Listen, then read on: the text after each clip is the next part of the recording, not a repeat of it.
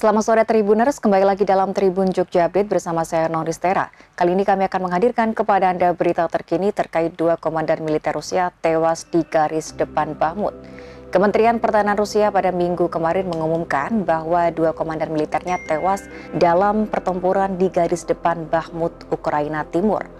Dalam pengumuman langkah ini, Kementerian Pertahanan Rusia mengatakan bahwa Komandan Brigade Senapan bermotor keempat yaitu Vyacheslav Makarov dan Wakil Komandan Korps Angkatan Darat untuk pekerjaan militer politik yakni Yevgeny Brovko tewas di medan perang. Pengumuman dikeluarkan saat pertempuran berkecamuk untuk menguasai Bahmut di wilayah Donetsk. Kolonel Makarov tewas ketika brigadenya memukul mundur serangan Ukraina di selatan pemukiman Krasna. Sementara itu Brovko terbunuh ketika pasukan Rusia menangkis serangan di tempat lain. Kementerian Pertahanan Rusia menyebutnya meninggal secara heroik setelah menerima banyak luka pecahan peluru.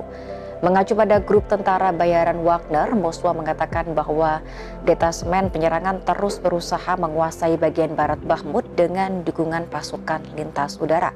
Rusia menutup rapat angka kerugian di Ukraina Menteri Pertahanan Sergei Shoigu tahun lalu mengatakan bahwa 5.937 tentara Rusia tewas di Ukraina, sedangkan analis militer menyebutkan Moskwa berusaha menyembunyikan skala kekalahannya di Ukraina. Demikian berita terkini terkait dua komandan militer Rusia tewas di garis depan Bahmut. Ikuti terus berita-berita terkini hanya di Tribun Jogja Update. Saya Noristera dan segenap kru yang bertugas pamit undur diri. Terima kasih, selamat sore dan sampai jumpa.